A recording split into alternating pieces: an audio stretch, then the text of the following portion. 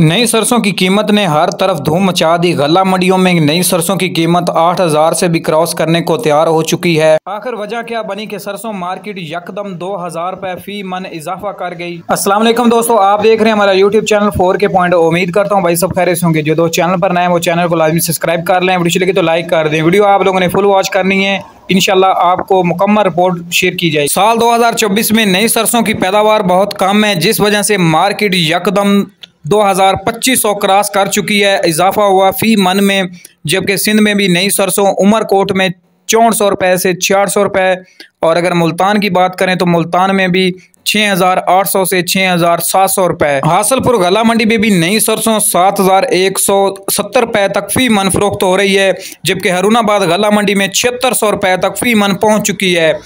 गुजशत दो तीन रोज़ में ही सरसों मार्केट में आज की नस्बत देखा जाए तो सात आठ सौ रुपए फ़ी मन तेज़ी देखी जा रही है। अगर यही सिलसिला रहा तो सरसों मार्केट बहुत ही जल्द ही नौ हज़ार, दस हज़ार तक भी पहुँच जाएगी, क्योंकि साल 2024 में साल 2023 की नस्बत बहुत ही कम पैदावार है, जिसकी वजह से मार्केट में इतना बड़ा इजाफा देखा गया। जरमान गला मंडी में भी सरसों की रेट सात हज़ार रुपए तक फ़ी मन पहुँच चुके हैं। इस टाइम आल पंजाब और सिंध मार्केट में सरसों छह हज़ार से सात हज़ार और आठ हज़ार के दरमियान फरोख्त हो रही है नई सरसों।